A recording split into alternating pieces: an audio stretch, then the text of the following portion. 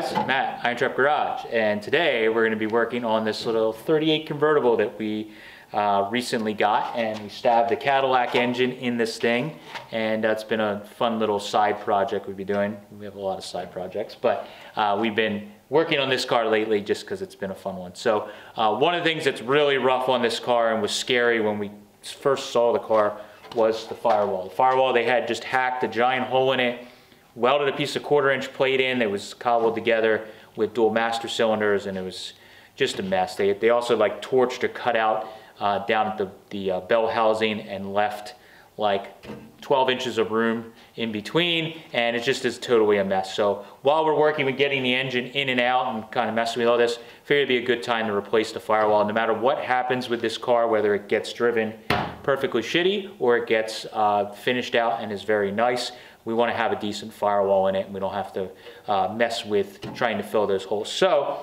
uh, our buddy Pete a while ago had uh, given us a few extra firewalls he had laying around when he was cleaning up um, some of his stuff and we've had them sitting on the shelf for quite a while and now is the time, luckily, that we squirreled this away ourselves. So we have a spare firewall here. We're gonna work on removing this firewall. Generally what you would do is work around the edges and find every spot weld. We're gonna be using the Eastwood um, Rotabroach spot weld kit that they have, drill kit. It works really well, um, but normally what I would do is work around the edge, find every spot weld, drill it out, separate it. Um, but this firewall is so rough, what we're probably gonna do first is cut all the way around the perimeter of the firewall to get the bulk of it out, and then we're just left with the flange or the lip that we can then just pry out. It'll be a lot quicker with finding the spot welds that way um, and getting everything taken apart. So we've already gotten the hood hinges and all that stuff off, and now we're gonna work on doing some rough cutting, and then we can get this all removed and start test fitting this one and get it trimmed to fit the Cadillac engine a lot nicer than it was with the Pontiac.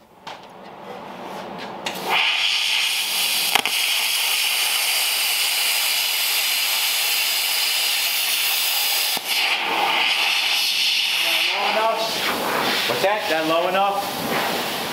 You're down probably a quarter inch down up under the Under the lip. lip, under the lip. Yeah. Okay, that's what I want to. Okay.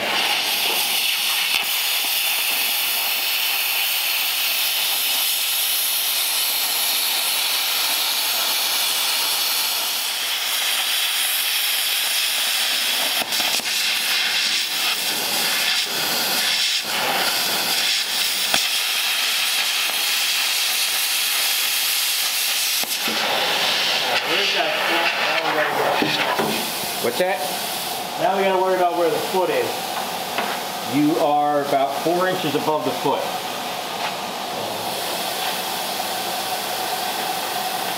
You know, we may want to pull the floor. I'll get it cut to there.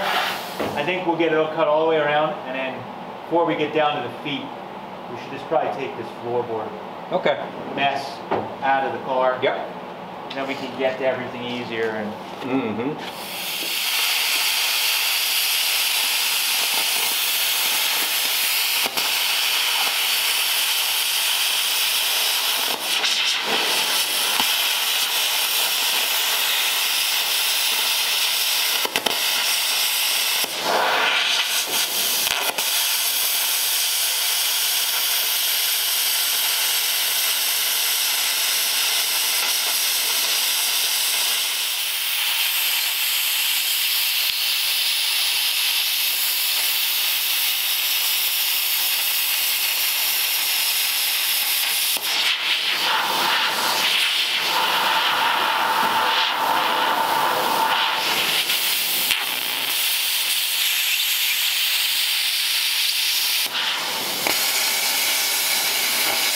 Go down as low as you can and you're right at the distributor there.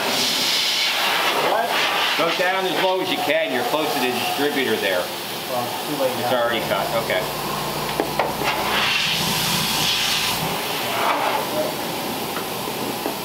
I'll put it- I'll angle it down. Okay. Oh, it's good. Yep, now we're good. This side we're gonna have to try to take the floor out. Okay.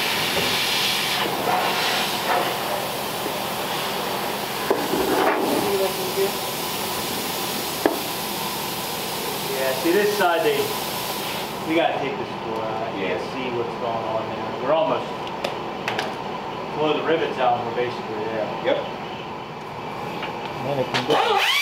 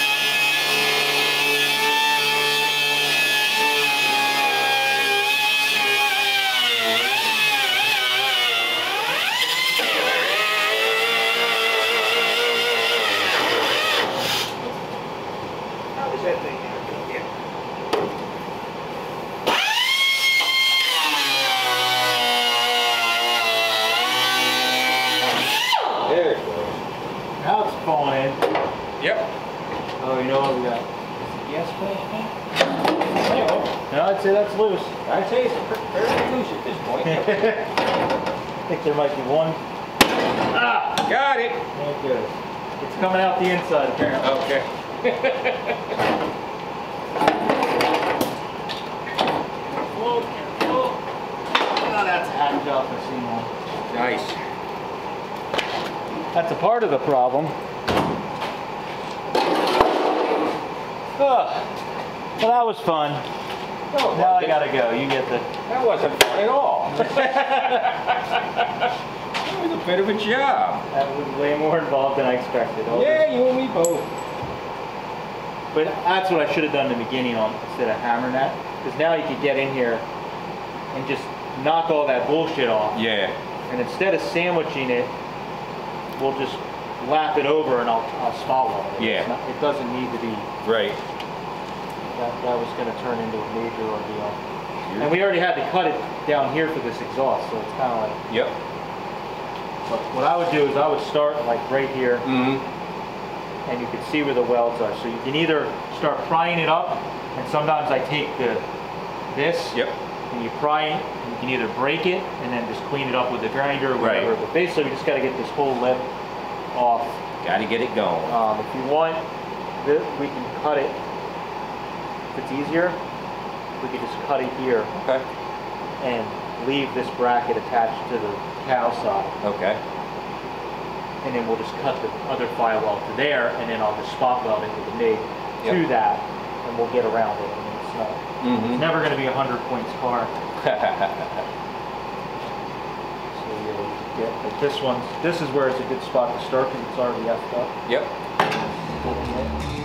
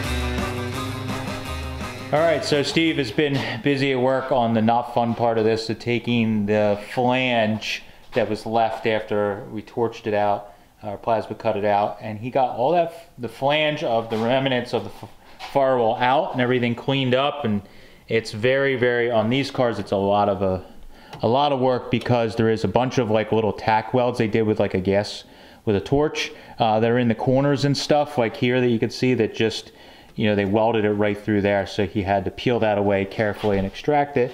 But got the firewall out and uh, all the pieces out, and we just have, still have obviously this damage here that I need to fix. Um, but I worked on getting quickly, just got this lip hit with the sander, And uh, this is our replacement firewall that is not cut up. Looks like this one might have had a heater at some point, but not a big deal. But the big thing is, is that it doesn't have giant holes cut like a hole in here. So uh, we're gonna start fitting this into the car. Uh, we know that we're gonna have to cut some for the um, for the bell housing on the Caddy engine. I don't know how much yet, so we're gonna start setting it in and slowly trimming and fitting and trimming and fitting, and hopefully we'll get this thing to sit in here without too much craziness. Um, and uh, we're also obviously gonna have to trim for that exhaust manifold on that side a little bit. So let's uh, let's see if we can get this fit in.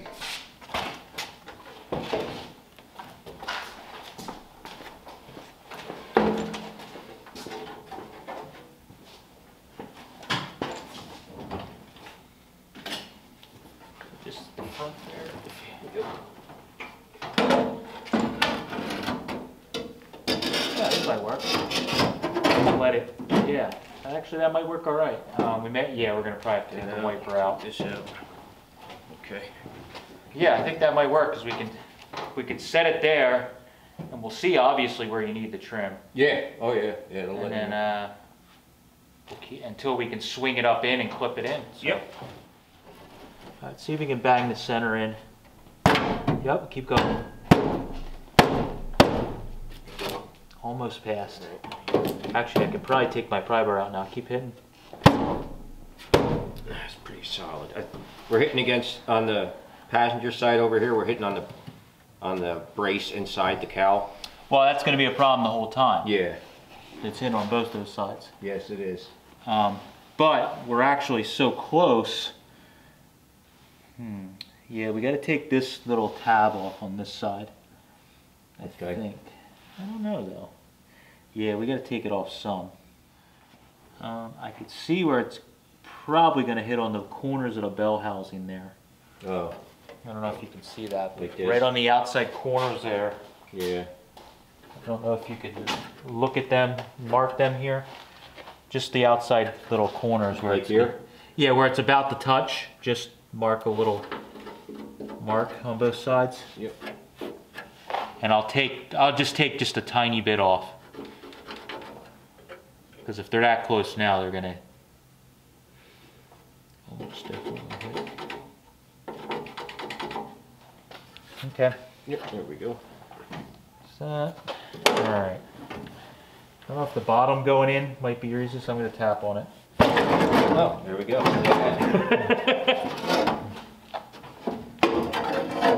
Hopefully there's a secret handshake. for this, uh, Got it. Great.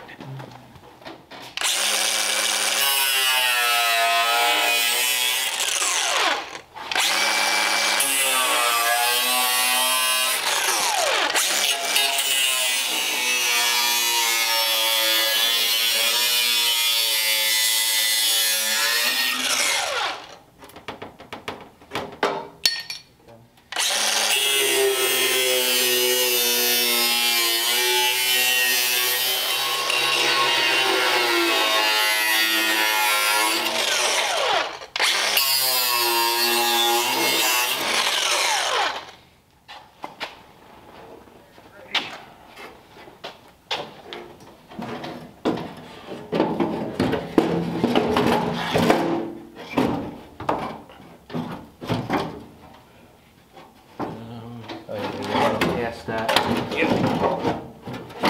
That's that. That feels better already. Yeah, it does. It went in way further than it did before. Um, you can bang it in. All right, I gotta pry that little lip. And when you get, go ahead and tap the center just to get it start. One more. There you go. Okay. Yep. Trying to see what we're. Oh, I see we're hitting on the center of the tunnel now. Look, Oh, yeah, yep. it's hitting hitting on the bell housing Yeah, you're gonna have to take that lip out. But now, like I said, if you go slow like this, it's kind of. Mm-hmm. Oh, you know what? We're hitting right here. I gotta take that whole lip off there. See the? Oh, okay. Yep. Yeah, that's hitting too. So take right. the whole lip off. Okay. Yeah. There we go.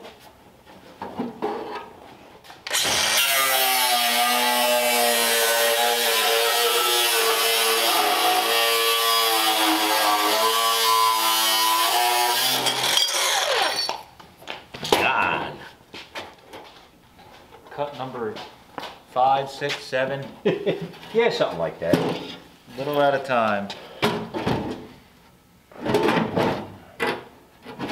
I'm outside of the cowl here. Yeah, that. the cowl's gonna wanna, you're gonna have to, you're gonna have to spray no matter what. Okay. Whether it's my side or your side, Oh, Okay. because it is springy. Yep. Here we go. so.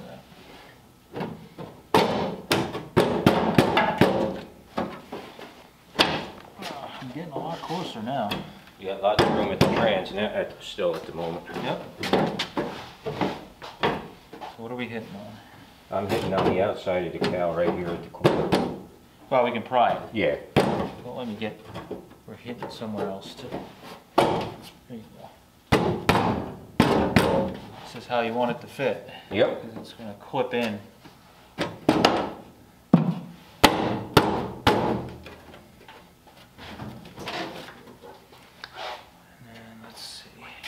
Just out there? Yeah, that, I would just start, you know, mm-hmm. somewhere in there and see if you can get it to just pry a little bit. and If you want, I can even mount and tap at the same time.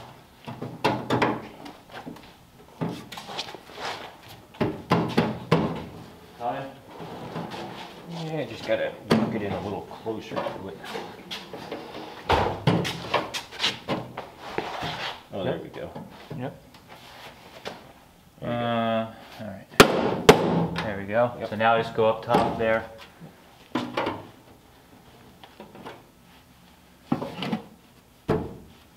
Yeah, it's just actually bent down a little bit, probably from just taking the firewall out.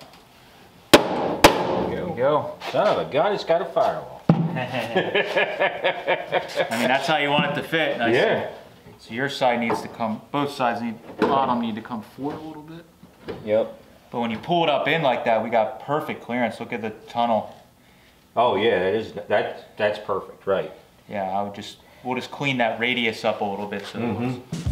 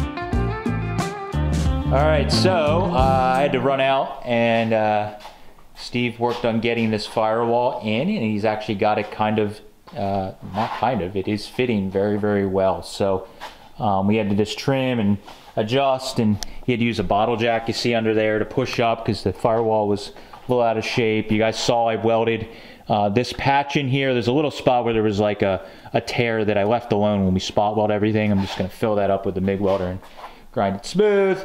Um, but, I mean, wow. clean firewall that is not all cut up. It's incredible. Um, Steve went and off camera kind of wire wheeled all this and got all the major grime and rust off of it. We're going to epoxy prime it once the engine comes out another time. We're going to clean it a little better, epoxy prime it, and I'm um, thinking about painting it maybe white. Um, so I was thinking about doing the garnish molding white as well in this car. So um, we're not sure yet. But for now, it's cleaned up so we can weld everything in. He's got it clamped in place. Uh, it's looking really good. We use these holes in the top here that are for the hood stays um, as a locating uh, for locating the firewall. So he's got just a dowel he's setting in there, and we know that everything's kind of sitting right because those line up. So I'm gonna get the uh, Eastwood MIG welder out, crank it up, and start doing some uh, rosette or plug welds here. Get this thing in place, and uh, we will have a nice, sturdy, uncut firewall here real soon.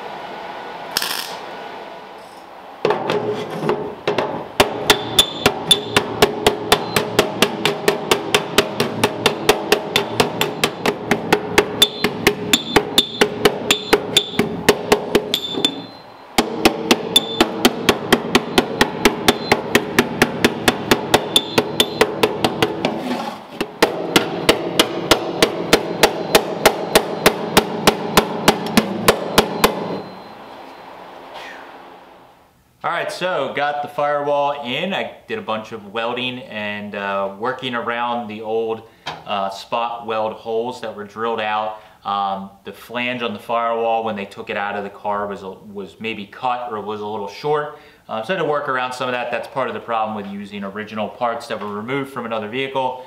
Um, at some point they're going to have to, you know, wreck or, or cut something a little bit. And this wasn't terrible, I just had to work around it. Got everything pretty much uh, plug welded in, hammered these, hem these edges back over, um, just went back over all the, all the um, plug welds I did and uh, just knocked them down flat on the outside here and uh, we're pretty much uh, good to go. A couple little things I'll have to weld up once we get the engine out that I just can't get in there uh, to hammer flat and, and weld just at the feet down here. And we have a couple little spots where we cut around the feet um, to uh, put this in and uh, we just got to fill those little holes and things like that. So just little minor work we could do once we pull the engine out, but huge, huge upgrade getting this uh, firewall that is not all hacked up, bent, uh, got that repair over there taken care of, and uh, it looks like a totally different car with the, uh, with the engine in there now. You can't see into the uh, driver's side of the seat with that giant window that was in the firewall. So